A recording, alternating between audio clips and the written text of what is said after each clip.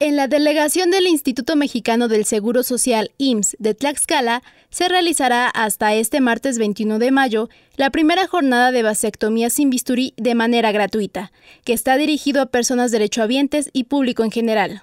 El coordinador médico en salud pública, Arquímedes Díaz Parra, informó que las personas interesadas en realizarse esta operación ambulatoria deberán acudir de las 8 a las 15 horas.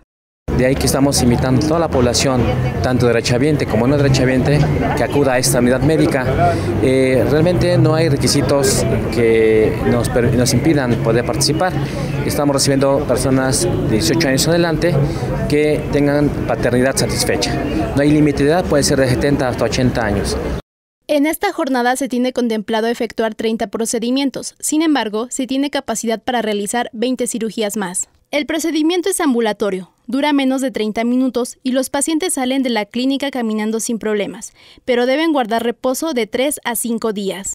En varias clínicas del Seguro Social Tlaxcala tenemos módulos de planificación. Pueden acercarse a cualquier de, los módulos que tenemos. Tenemos aquí en la clínica 8, tenemos en Apizaco tanto en la clínica 19 como en la clínica 2. Tenemos en Zacatelco, Pasacola, Santana, Chautempan.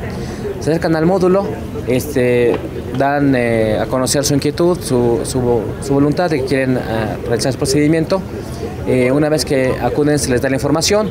En la jornada participan 18 médicos. El objetivo es involucrar a más varones en la planificación familiar. Debido a la buena respuesta de la población masculina, habrá una segunda jornada en el mes de junio de este año. Para Coracit Noticias, Victoria Flores.